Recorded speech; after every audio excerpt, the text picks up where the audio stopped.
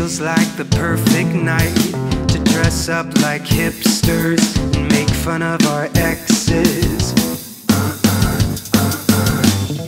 It feels like the perfect night for breakfast at midnight to fall in love with strangers.